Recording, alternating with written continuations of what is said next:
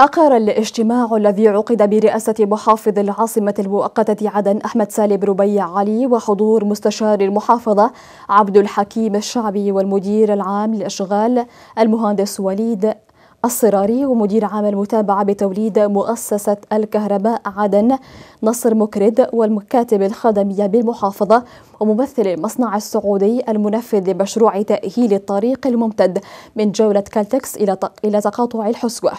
أقر البدء بتنفيذ مشروع تأهيل الإنارة بالطاقة الشمسية بتمويل البرنامج السعودي لإعادة إعمار اليمن.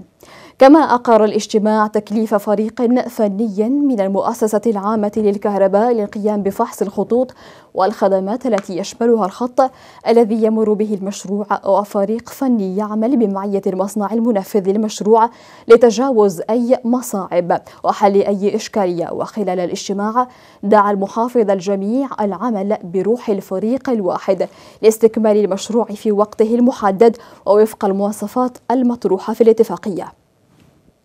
وشدد المحافظ على ضرورة مراعاة خصوصية نوع الخدمة كالطرق وشبكات الصرف وغيرها وإيجاد الحلول السريعة التي تتماشى مع تنفيذ المشاريع.